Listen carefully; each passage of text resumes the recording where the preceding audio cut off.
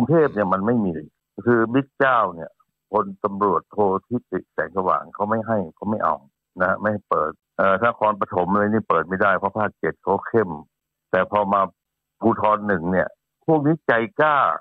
นะคุณจะเห็นประจำเลยคือคือ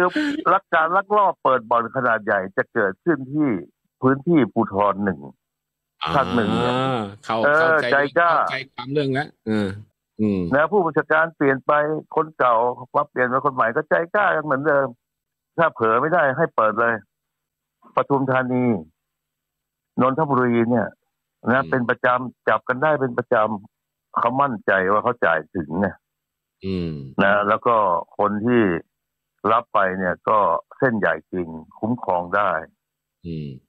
ครับตำรวจด้วยกันไม่กล้าทำตำรวจเอ่อไม่กล้าทำนะอ๋ออ๋อ แล้วก็คงเคลียร์ตำรวจเออเอ่อส่วนกลางอะไรที่มีอำนาจนะฮะก็น่าจะถึงนะฮะ แต่เผอิญว่ามันมองข้ามไป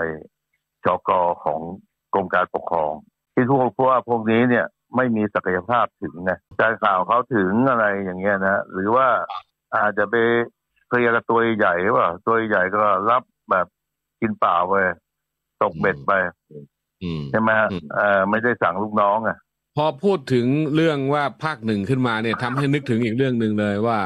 ก่อนหน้านี้เนี่ย กรมการปกครองเนี่ยเขาก็จับอะไรในภูทรภาคหนึ่งเนี่ย